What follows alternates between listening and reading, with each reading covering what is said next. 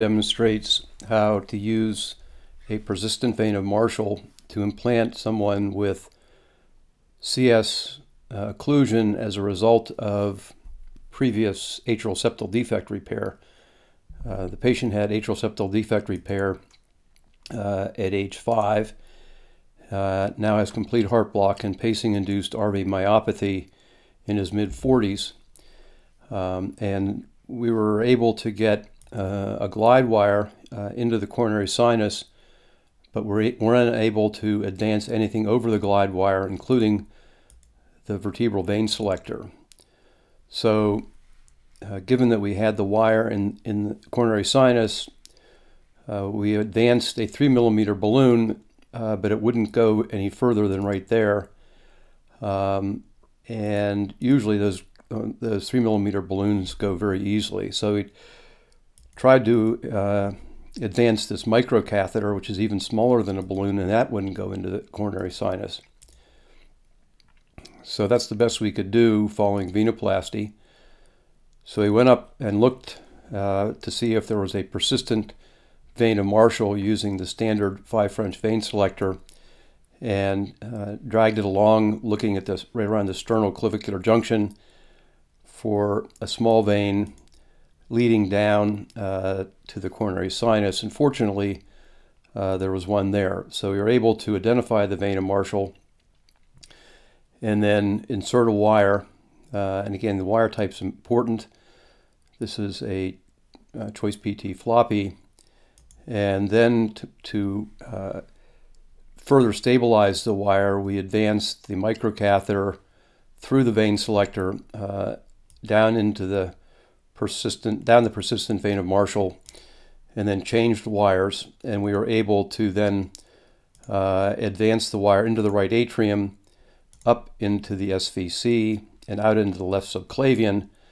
And from here, uh, we advanced a a nine French, we, uh, excuse me, we have the nine French sheath here, the veins, five French vein selector, and then the four French uh, snare with a 10 millimeter loop. You open the loop of the snare, uh, advance the wire through the open snare. You want to make sure you have plenty of wire through the snare so you don't pull the tip off, so 10 millimeters anyway, uh, and then close the snare on the wire. Now this gives us a really good rail uh, from where we can work. So with the wire snared, uh, we remove the microcatheter and then replaced the microcatheter with a three millimeter balloon. Uh, was advanced down the vein of Marshall and we were able to this time inflate the balloon and get it all the way out into the right atrium and back again. That wouldn't be big enough to get the sheath in, so we went next with a six millimeter balloon, six millimeter by four centimeter balloon. This designed to go over an 018 wire. Um, it's a peripheral balloon, but it was too large to go down the vein of Marshall. Remember how small that was.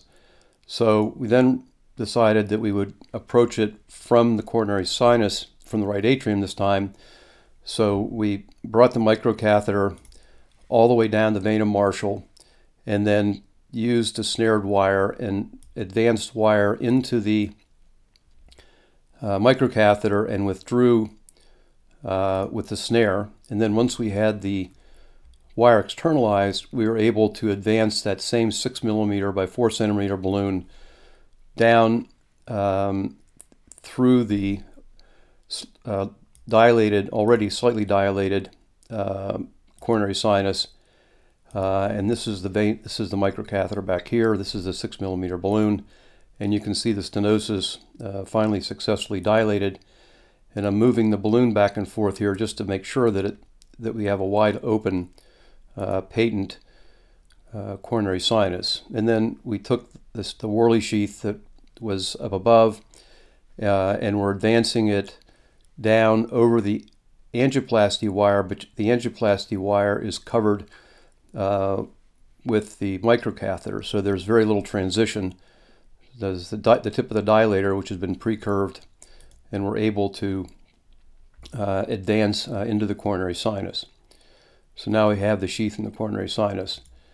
So we, before we took out the um, dilator, we put the Amplatz wire in to hold, hold it safe and steady uh, and we could see that we were up here where the vein of Marshall was, and here's the true CS. So we needed to get ourselves back into the true CS. So we took a vein selector, the standard, uh, excuse me, the vertebral vein selector, and advanced it over a glide wire into the true, true CS.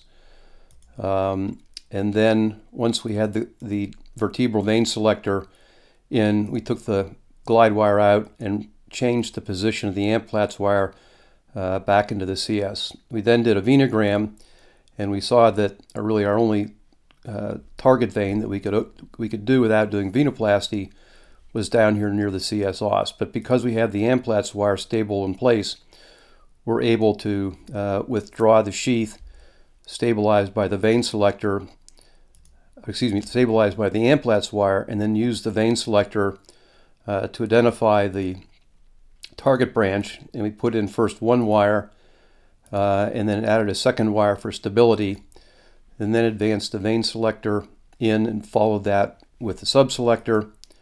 Uh, took some pictures of the vein just to see if there were any other side branches we might uh, be available, any other target lateral wall branches as well, so that we could plan on our implant uh, based on what we saw. And we saw the side branch here in case uh, it was unstable or uh, had any issues going straight out. And so turns out there were some issues with uh, phrenic pacing more distally.